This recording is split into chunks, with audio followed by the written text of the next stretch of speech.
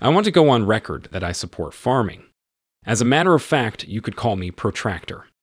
Today, I'm going to recap a 2021 action thriller film called The Protege. The movie starts in 1991 in Da Nang, Vietnam.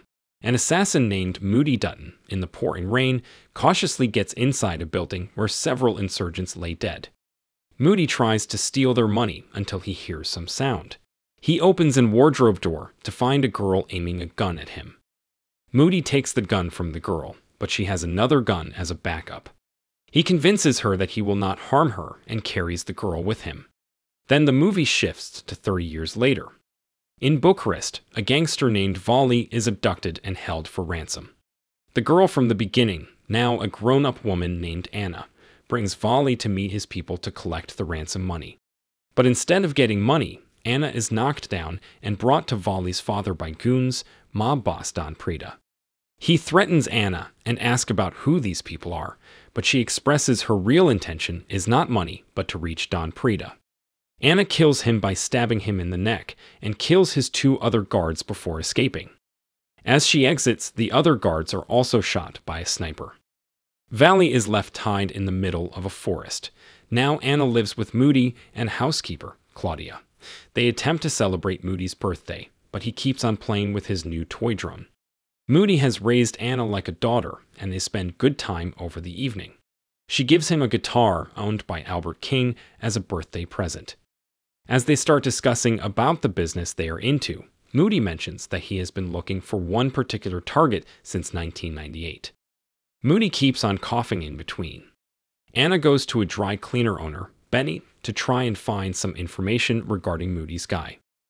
We find out that she runs an elegant bookstore, where one day she is visited by a man named Rembrandt, who claims to want a rare gift for a book loving friend. When quoted $265,000 for a book of anonymous poetry by Edgar Allan Poe, he demurs, but not before reciting one of the poems upon his departure. Later, Anna runs through the park, where Benny gives her information on the target, Lucas Hayes, who was in Da Nang around the time that Moody found Anna. When Anna returns home, she finds Claudia dead and goes upstairs to find Moody dead in the bathtub. She tries to reach Benny for help, only to find the dry cleaner and that someone has killed Benny, frying him in a steam presser. Anna goes to the bookstore to get guns and cash. Meanwhile, some assassins begin to fire on her through the windows. She pretends to be shot dead. One of the assassins stops to inform their boss, and another went closer to check on her, but gets shot in a jiffy. When another one hears the gunshot, he tries to escape, but she shoots him straight in the head and takes away his car. After losing her only family, Anna decides to seek out revenge and travels back to Vietnam to look for any lead to the person who ordered to kill Moody. Through Billy's given reports and news reports, Anna found out Lucas Hayes was the son of Edward Hayes. Edward was a businessman indicted for war crimes who was killed in a car explosion in Da Nang. In one media report, Anna spotted Moody standing in the crowd near the crime scene and concluded that Moody would have bombed Edward's car. After his father's murder on Christmas Day 1991, Lucas was in Paris until 1998, but returned to Da Nang in March 1999. He was admitted to St. Quiteria Hospital on June 2, 1999, after which there was nothing of his existence. Anna reluctantly decides to return to Da Nang to find the missing links. In the next scene, we see a group of bikers riding on the road. Suddenly, an exceptionally good rider comes from the opposite side and makes some of the riders lose balance. Their leader follows the bike, and it is revealed that the rider was none other than Anna, and the leader of the biker group, Billy Boy, was her old friend. She asks his help to evade the security of Jacino Vohl, to just talk to him once. Billy Boy, along with his biker gang, helps her to get close to Edward's old business partner, Jacino Vohl, following his car and surrounding him from their bikes and pointing gun from all sides. She enters Vohl's car, telling him her purpose is to fix a meeting with him. Vohl was in his office with his lawyer Duquet. Anna told him about all the fishiness in the matter as whoever inquired about Lucas getting killed. Vohl gets anxious and says he has nothing to do with it. He was about to spill some beans, but Duquet kills Vohl by shooting him. More gunmen show up, but Anna smashes Duquet's face and climbs up to get away. Then follows a deadly fight scene between them. Anna, by pointing gun on Duquet, gets into another room. Leaving a naked wire, she manages to exit the building, but is still hit by a car and taken in by Duquet and the other men. Duquet brings Anna into his custody to interrogate her, to know why she is after Lucas or Edward. She is tortured by pouring water many times and held captive for a while, until Rembrandt shows up to reveal his involvement in this. He explains that he was not involved in the deaths of Moody and the others. He and Duquet work for the same person, but he was never going to the same lengths as Duquet to get to Anna. The thugs later come in to rough Anna up some more, even hanging her up, but she gains the upper hand and kills all of them and making her escape. She makes it to Billy's hideout for protection. Rembrandt comes to check on her, only to find her elope and mock at Duquet.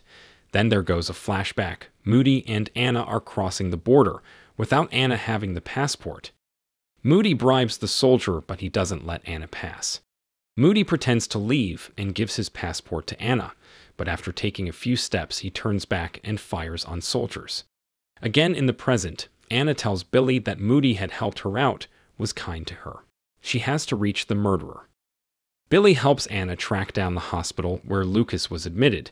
She speaks to a nun working there and finds Lucas, who is an adult and doesn't really move or speak. Rembrandt learns that Anna went to the hospital and arranges for a dinner with her, and it is revealed that his boss is a very much alive Edward. Rembrandt is told by his friend that he is intrigued by Anna, but he says he is just curious.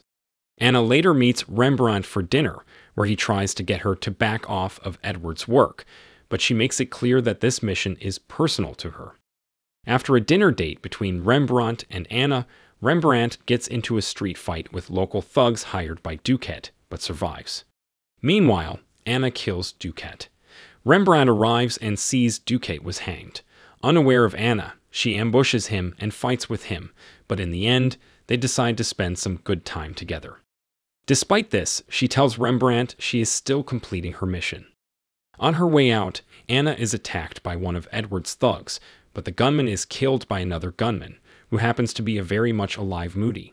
He takes Anna away and reveals he faked his death, using one of the unlucky hitmen as a decoy by blowing his face off and convincing the authorities that it was him. He and Anna meet up with Billy again as they plot their ultimate takedown of Edward and Rembrandt. Edward holds a banquet with extra tight security. Anna infiltrates the party in disguise as a waitress. As Edward gives a speech, she makes her attempt to assassinate him, but is thwarted by Rembrandt. Meanwhile, Anna and Rembrandt put up a fight. Edward was escorted to his panic bunker to save his life. To Edward's surprise, Moody was waiting there with a ticking bomb in his bag. Before his death, Edward confessed that he faked his death to protect his beloved son, Lucas, from his enemies' threats or harm. Moody sarcastically laughs at Edward's emotional plea and underlines that Edward did all this to save himself. The fake death was Edward's chance to disappear, as no one looks for a dead man. Through the years, Edward ran his crime syndicate from the secluded island. In the end, Moody also conveyed his addicted voyage to find Lucas. Moody felt remorseful for taking away a father from a son, and thus he wanted to amend his mistakes. How could he have known that the web of affairs of rich criminals is beyond anyone's understanding? When the confessions were done and dealt with, Moody torched the bunker with a bomb. He killed himself along with Edward. As the party goes into chaos, Anna runs, but is shot in the arm by Rembrandt. She gets away from Rembrandt. A flashback shows the night when Anna watched as insurgents beheaded her mother and then shot her sisters and father. They took Anna to their hideout, where the leader of the men assembled a pistol in front of her, and she memorized the steps. After the man leaves, Anna assembles a second pistol and proceeds to kill all the men, and Moody eventually finds her.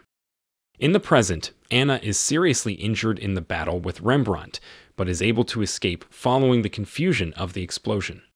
Anna makes her way to an abandoned building, the same one where Moody found her as a child. At this point, Rembrandt appears, as he has tracked Anna to the building. The two stare each other down at gunpoint. Anna says she can't leave Rembrandt alive. Even though the two have a personal relationship, she knows that she'll always be looking over her shoulder if he lives. He's the only person alive who knows what she's done. Rembrandt tries to talk her down, to convince her she could just walk away, but he also never lowers his gun. The audience POV shifts to outside the building, and we see a flash and hear a gunshot. We see a single shadow move down the hall, and a moment later, Anna emerges from the building alone. If you enjoyed this video, don't be shy to hit the like button, and if you disliked it, hit the dislike button twice, just to be sure. It would be best if you watched the whole movie. Thank you very much for watching. Please subscribe for more videos like this.